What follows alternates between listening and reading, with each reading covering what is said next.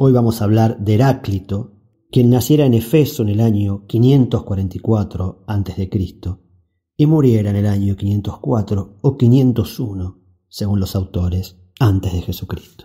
Dicen que era más joven que Pitágoras y que de él recibió algunas influencias, que le gustaba la soledad y que era enemigo de la multitud, a los que llamaba el rebaño de los ciudadanos.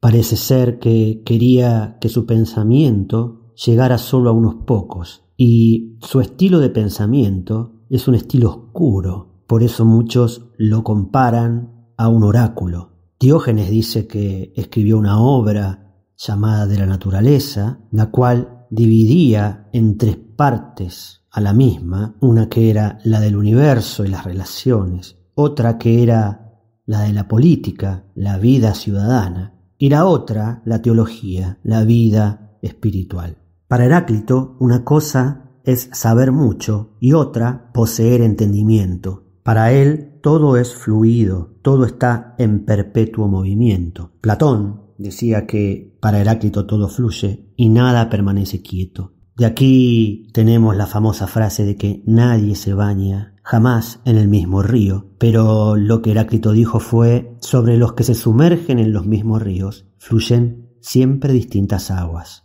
Y también dijo que el sol es nuevo cada día.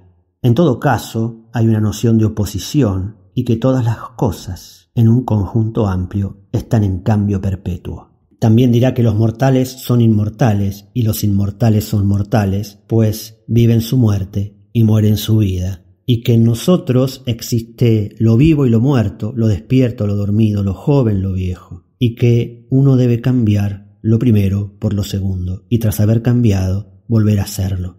Da el ejemplo de la oposición en el mar, que es el agua más pura y más impura, porque para los peces es potable y saludable, y para los hombres es impotable y venenosa. Para él, el contraste se manifiesta como un doble camino, camino descendente y ascendente al mismo tiempo. Es el mismo camino en dos posibles direcciones, que en un lugar se van a encontrar, y ese lugar donde se encuentran estos opuestos es el fundamento de ellos. Dice que muchos no comprenden cómo lo diverso concuerda consigo mismo. La armonía de lo antagónico es como el arco y la lira. Las cosas en conjunto son un todo y no lo son.